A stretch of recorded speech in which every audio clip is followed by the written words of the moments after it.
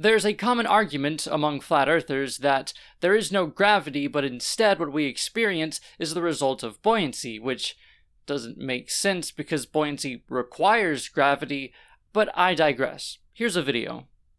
However, let's take a look at what the difference is between real science and the abstract mathematics, which tells us we're on a ball. No, the concept of gravity isn't merely abstract. There are tests that we can and have performed that show that this is an actual phenomenon. Is simply an abstract mathematical concept. It is not science, it is pseudo science because there is nowhere that we can see that mass attracts mass. Actually, we can see mass attract mass. Take a look at this. Now we put another ball on the left side of each of the two original ones. If everything attracts everything else, the balls should attract each other and the bar should move. There is an attraction of gravity between the lead balls. That is commonly called the Cavendish experiment, which flat earthers are aware of and they readily reject. I'm not exactly sure why. The only argument I've seen was argumentum ad lapidem, but if I can find any proper criticisms of it, then I will cover that in a later video. So we are told that because this uh, one liter of water has a mass that is being attracted to the mass of the earth, which therefore gives it its weight, one kilogram, that this is proof of gravity. This is just a description of, we can call gravity, but what we cannot prove scientifically is that it is the mass of the earth making this water weigh one kilogram. Well, actually. First, we weigh a small lead pyramid to measure the force of attraction between it and the Earth. Its weight is 152.166 grams. Now we move the heavy lead ball under the scale, adding its mass to the mass of the Earth.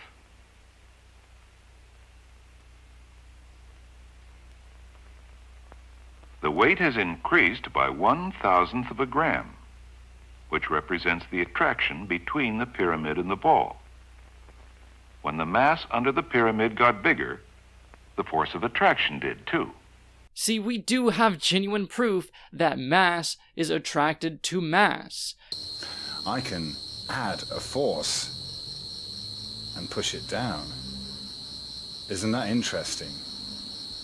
I push down this and it becomes heavier. So what does the orange really weigh? Once you're weighing it in water, it's a little bit different, isn't it? No, it doesn't become heavier. Weight isn't the only way to change the number that a scale reads. You know that, right? Maybe you adding an additional force changes what the scale reads. Let's try with our ball. Earth. Doesn't weigh much in the water.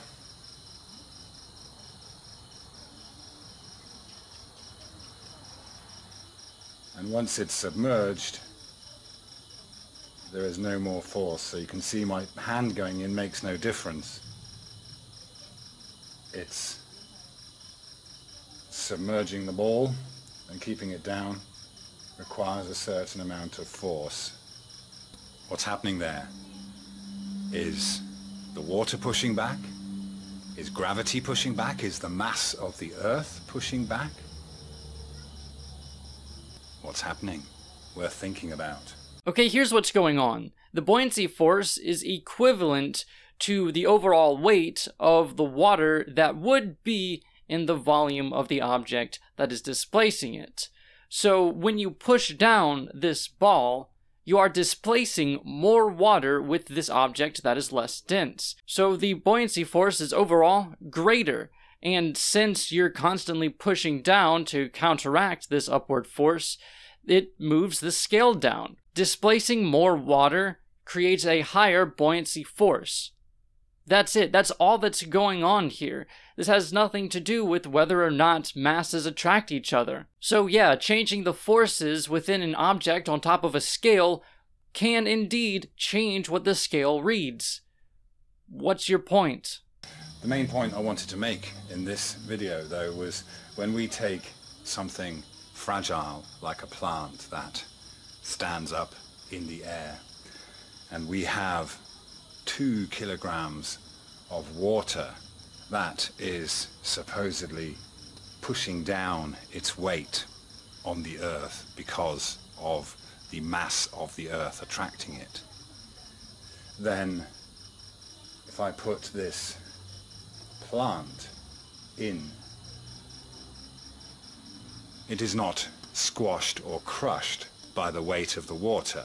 This could be miles under the surface of the ocean and it would be having no problem standing up against all the weight of the water. It's just relative density. How do you know? Have you been miles under the surface of the ocean?